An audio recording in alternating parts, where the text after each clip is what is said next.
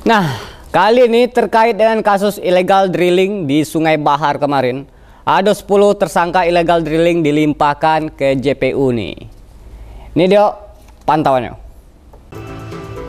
Setelah mengamankan 10 pekerja tambang minyak ilegal di Desa Bukit Subur, Kecamatan Bahar Selatan, Kabupaten Muaro Jambi, pada Selasa 6 September 2022 lalu, Tim Subdit 4 Tipiter Direktorat Reserse Kriminal Khusus Polda Jambi akhirnya melimpahkan para tersangka ke Jaksa Penuntut Umum Kejati Jambi.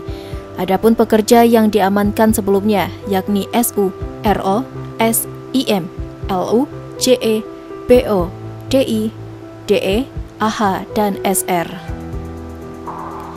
Kasubdit Tipiter di Treskrimsus Polda Jambi Kompol Arif Ardiansyah mengatakan, pelimpahan tersangka karena berkas para tersangka dinyatakan lengkap atau P21 oleh jaksa.